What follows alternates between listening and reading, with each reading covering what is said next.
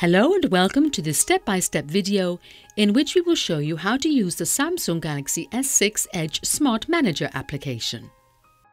Please note, the Galaxy S6 screenshots and features may differ depending on your region or service provider. To activate the Smart Manager application, tap Apps on the home screen. Then tap Smart Manager.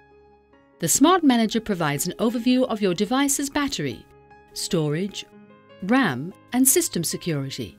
If you select battery, you can check the remaining battery power and access the power saving mode and ultra power saving mode. Next tap Storage. You can now view the memory used by unnecessary data, system user data, and the amount of free remaining memory. You can delete unnecessary data, such as cached, residual and advertisement files, by tapping on Delete. Any unnecessary files will now be deleted. Here you can also uninstall applications. Apps that can be uninstalled can be accessed by tapping Detail. The following four categories will be listed. Images, videos, audio, and applications. If you tap on a category, you will be able to access those files. Tap next to an app you wish to delete and tap Uninstall. Please note, the apps shown in this guide are for example purposes only. Tap on the arrow symbol to return to the main menu of the Smart Manager.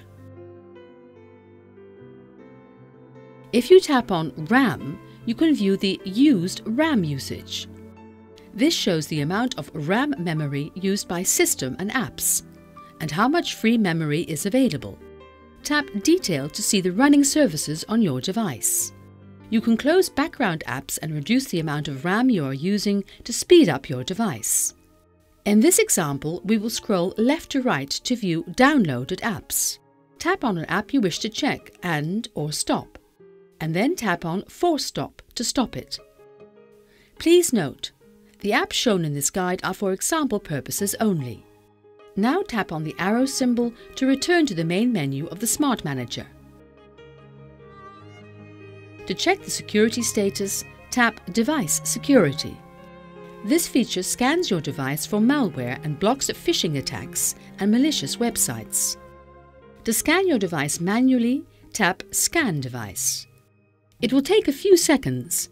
The time will vary depending on if you have a lot of files on your device. The scan status will be displayed, here shown as No Threats Detected. Tap on the arrow symbol to return to the main menu of the Smart Manager.